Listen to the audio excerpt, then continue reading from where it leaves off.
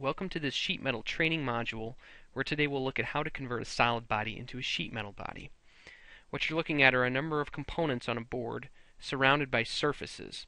All the surfaces represent keep out areas where the sheet metal body has to be smaller uh, than those.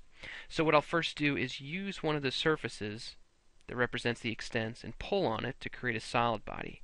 And so this will be the basis for my sheet metal structure. Now I want to pull on the top of it to make it a little bit bigger. The only requirement is that it sits below that cylindrical surface. And I want to get rid of this small surface here, so I could either click Fill right now, or pull on it until it's completely gone. Last thing I need to do is make sure I have no material where this rectangular cutout is. So again, using the surface that represents the keep out zone, I can force the pull tool to make a cut, and force it to go up to the back surface. Now I can't see that, so I'll query select by rolling up on the mouse wheel until that surface is present and selectable. Then I click on it and I've removed material away. Now it's time to turn this body into sheet metal. How that's done is we first need to shell this out into a thin body material. I click the bottom surface and say shell. At this point you can type in any value you want. I'm going to type in 39 thousandths. That's roughly 1 millimeter. And then click the green checkbox. And so this is going to be our sheet metal body, and we need to convert it to sheet metal. So I go to the sheet metal tab and say convert, and click on the solid body. Every candidate for a bend and rip shows up in red. Right now my junction type is set to a bend, so any location I select, any red junction, turns into a bend.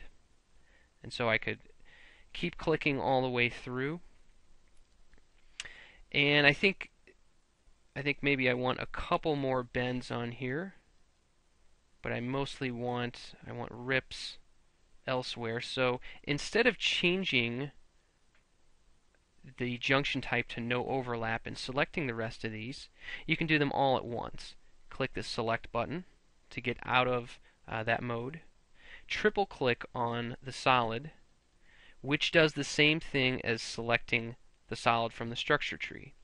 With that selected, you want to go to the selection tool, the selection tab, and grab every hard sheet metal edge. And you see down below I've got 10 of those now selected. With those selected, I could designate the junction to be a no overlap. Now those all turn into ripped corners.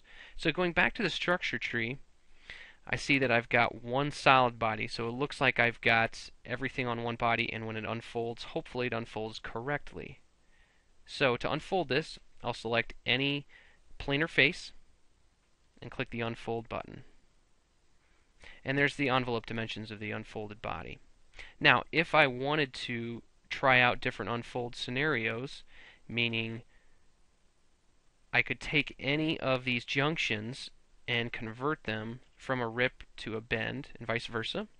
So in the select tool, I'll go grab a junction, just select it, and turn this into a no overlapped or rip junction. Now when I do that, you see I've got two solid bodies in the structure tree. This one has no bends associated to it. So I could take maybe that junction, turn that into a bend if I wanted to. Now I'm back to one solid body because it's all joined together. And let's see what this looks like in the unfolded state.